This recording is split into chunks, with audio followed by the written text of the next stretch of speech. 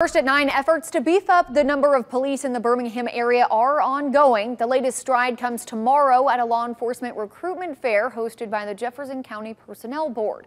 Your reporter, James Giles, joins us live. So, James, many departments in our area need more officers. So, what are the expectations tomorrow?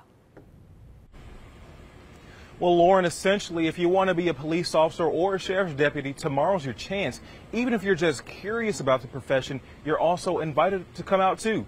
Personnel Board for Jefferson County Executive Director Jeff Crenshaw says 17 law enforcement agencies, including Birmingham Police and Jefferson County Sheriff's Office, will be out at the recruitment fair tomorrow at the Birmingham Crossplex. Leaders say benefits include a $5,000 sign-on bonus, health, dental, life insurance, and departments are also offering a pension and retirement benefits. Crenshaw says there's no application requirement if you show up tomorrow and there's an opportunity to complete some of the steps to get you closer to wearing the badge.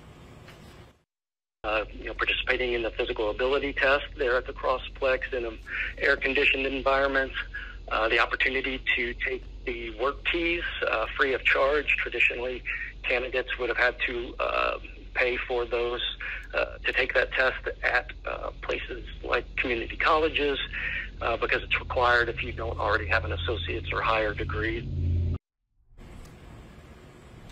And again, you can catch them tomorrow at the Birmingham Crossplex. That event will be from 8 a.m. until 5 p.m. Reporting live in Birmingham, James Giles, WBRC, Fox 6 News, on your side.